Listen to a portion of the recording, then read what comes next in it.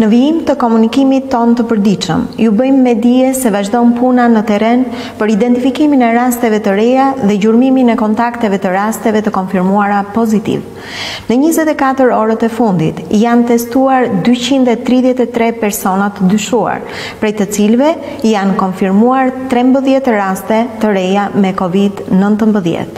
Deri në këto momente janë testuar tre mijë e tetëqind e shtatëdhjetë e shtatë raste të dyshuara dhe prej tyre janë konfirmuar pozitivë me Covid nëntëmbëdhjetë katërqind e dyzet e gjashtë raste. Betejën me këtë sëmundje e kanë humbur deri tani njëzet e tre qytetarë, me gjithë përpjekjet e jashtëzakonshme të personelit shëndetësor. Gjatë njëzet e katër orëve të fundit, njëzet pacientë të tjerë i janë shtuar listës të të shëruarve, duke çuar numrin e të shëruarve me Covid nëntëmbëdhjetë në dyqind e shtatëmbëdhjetë. Siç duket, edhe në grafikun e shpërndarjes të të shëruarve sipas grupmoshave, kemi raste të shëruara në të gjitha grupmoshat. Ju informojmë se në shërbimin infektiv aktualisht janë dyzet e një të shtruar, gjashtë pacientë prej tyre janë në terapi intensive, ndërsa dy prej tyre janë të intubuar. Në spitalin Covid dy, Shefqet Ndroqi, janë tetë pacientë të shtruar, gjashtë pacientë prej tyre janë në terapi intensive dhe pesë prej tyre janë të intubuar. Në të dy spitalet Covid aktualisht po marrin shërbimin dyzet e nëntë pacientë.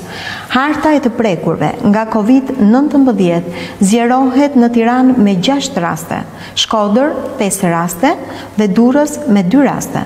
Pjesa më e madhe e rasteve të identifikuara në njëzet e katër orët e fundit janë kontakte të rasteve të mëparshme të prekura me Covid nëntëmbëdhjetë, ndërkohë që vazhdon procesi i hetimit epidemiologjik. Shpërndarja gjeografike e rasteve pozitive është si vijon, Tiranë dyqind e pesëmbëdhjetë raste, Durrës dyzet e një raste, Lushnjë gjashtë raste, Elbasan pesëmbëdhjetë raste, Fier tridhjetë e dy raste, Kavajë tetë raste, Rrogozhinë, katër raste, Korçë, shtatëmbëdhjetë raste, Vlorë, pesë raste, Shkodër, pesëdhjetë e shtatë raste, Lezhë, katërmbëdhjetë raste, Berat, dy, Has, dymbëdhjetë raste, Krujë, gjashtë raste, Tropojë, katër raste, Pukë, pesë raste, Mirditë, tre raste, Ministria e Shëndetësisë dhe Mbrojtjes Sociale i kërkon qytetarëve të vijojnë të respektojnë masat e distancimit social.